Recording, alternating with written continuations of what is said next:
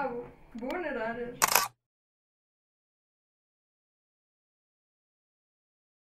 Eu reprezint o asociație. Asociația noastră se numește Asociația ADIR. Asociația Down Iași România. Asociația s-a constituit în cadrul unui proiect uh, pe fonduri structurale, fonduri europene, care, uh, în care administratorul de grant, la care administratorul de grant este Fundația Alături de Voi România. Proiectul prin care noi ne-am constituit uh, este acceleratorul de întreprinderi sociale.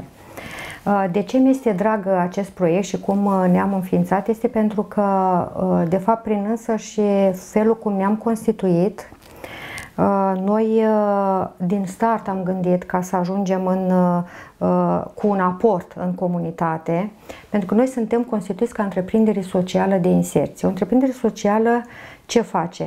Aduce aport pe partea socială unor categorii din comunitate care au nevoie.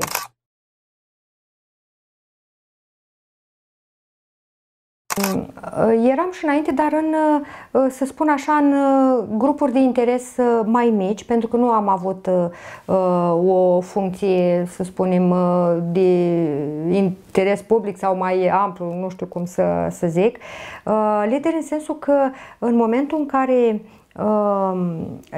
în, în comunitatea aceasta cu a persoanelor cu, cu dezradare. Noi am făcut și voluntariat înainte, înainte de a uh, iniția proiectul și imediat cum am deschis, uh, adică am câștigat acest proiect și am deschis, comunitatea s-a unit, a venit lângă, lângă mine și adică eu am făcut acest proiect nu pentru mine și familia mea sau așa, am făcut proiectul pentru copiii cu da, pentru toți și toți beneficiază de și atunci cumva fiecare a venit cu aportul lider înainte, da, în, în această într-o comunitate mai restrânsă, să zic, aici unde, înainte prin natura jobului și prin natura uh, pregătirii mele, uh, fiind pe funcție de management, uh, am uh, avut uh, priorități, am, adică am avut uh, linii de desfășurare activității în care mi-am manifestat capacitățile de lider.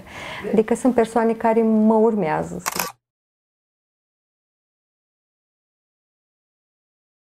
Eu implementez un proiect pe fonduri europene. În implementarea asta, cel mai, adică mi-am făcut o echipă și am început să merg, merg înainte. În momentul în care am avut nevoie de uh, susținere, uh, cum spun, administrativă, să zic așa, uh, am avut colegi și au spus, eu asta nu, eu știu ce am eu de făcut cu copiii, cu acolo e treaba mea, așa atunci uh, marea dificultate este că eu singur trebuie, trebuie să țin în mână tot ce înseamnă partea administrativă, de la salarii, uh, taxe, uh, bun, Uh, bineînțeles, ai uh, contractat un serviciu de contabilitate, de așa, dar totuși este foarte, foarte mult și nu pe toată lumea poate să implice și în partea asta. Eu am fost formată așa prin natura jobului, acționând în uh, industria farmaceutică, îs învățată cu, dar sunt foarte multe și nu mai poți la un moment dat tu singur să le ții în mână pe toate.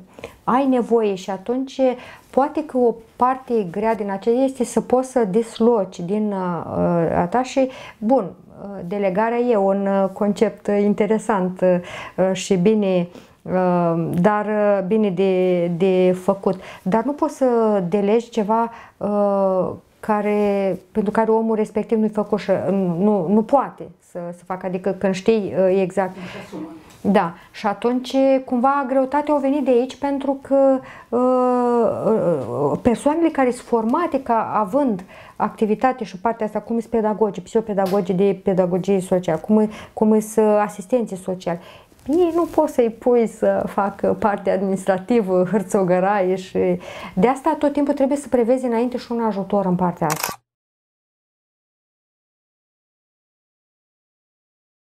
Cine vrea să pornească o treabă din asta și e un sfat bun pentru tineri. Poate sunt tineri care în comunitate vor să inițieze proiecte, poate vor să uh, să întreabă cum pot eu să devin lider. În primul rând, trebuie să știi foarte bine ce, ce vrei și să-ți placă. Dacă îți place și e segmentul în care tu știi că poți să te desfășori, atunci găsești soluții. Dacă și să-ți rezervi tot timpul ca să ai un ajutor.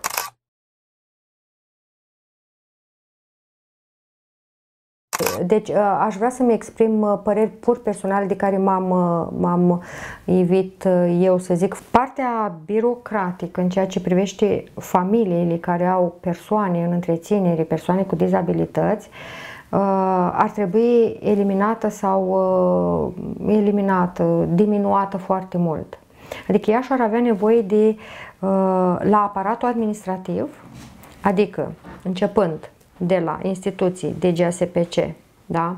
primărie, acolo unde acționează, unde se duce omul și obține ba pensii, ba certificat de handicap, ba indemnizație, peste indemnizație, ajăpisul, Căjăraie, Căjăraie este centrul unde obții certificatele de reorientare școlară pentru copii, pentru copii să duc și obțin, dacă tu ești cu un copil cu handicap și el uh, are vârsta de 10 ani și abia în clasa 1, tu obții niște certificate. Deci sunt atât de multe alergături, adică cumva ar avea nevoie la aceste instituții de uh, a avea o viziune mai de ansamblu la uh, nevoile și să se diminueze cumva uh, timpii morți sau cumva etapele inutile utile. Adică e destul să te duci la o comisie și după aceea, dacă ai făcut o evaluare, alte instituții poate beneficia de evaluarea comisiei respective. Trebuie doar uh, da, uh, trebuie doar instituțiile care uh, așa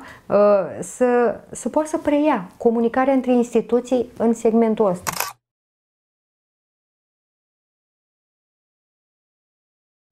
Câștiguri personale. În momentul în care te hotărăști să faci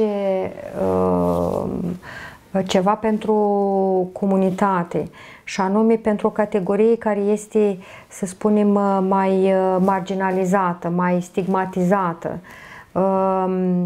Cea mai mare bucurie este atunci când cineva vine și îți spune nu credeam că există așa ceva.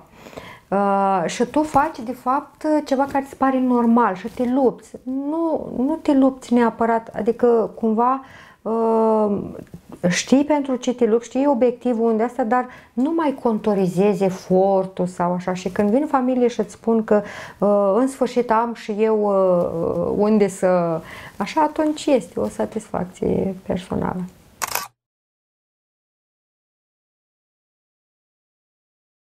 Ca și experiențe pozitive uh, ar fi um, de exemplu um, când devii un personaj, un lider de care lumea începe să afle și uh, care cumva tu ca atare prin ce ai făcut ești un exemplu, Uh, un, un exemplu pozitiv ar fi că uh, vin alte uh, persoane, instituții și își cer sfatul. Adică, măi, tu cum ai făcut? Tu cum ai... Asta ar fi o chestie pozitivă. Înseamnă că ceea ce ai făcut tu, cumva au ajuns undeva și o dată cu plus.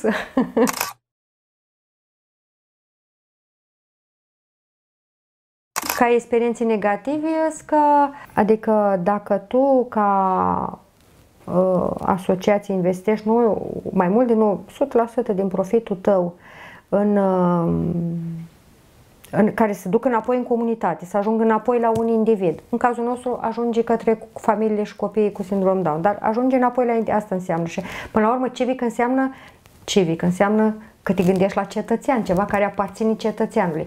Noi ca asociație care lucrăm cu persoane cu dizabilități, uh, experiența negativă este că nu suntem scutiți sub nicio formă din niciun fel de taxe. Adică dacă angajezi o persoană cu dizabilitate, uh, uh, avantajul are persoana respectivă, că nu plăte, el nu mai plătește angajatul, nu mai plătește impozite, dar tu, ca și Uh, personalitate juridic plătești aceleași taxe la stat. Nu ai niciun beneficiu.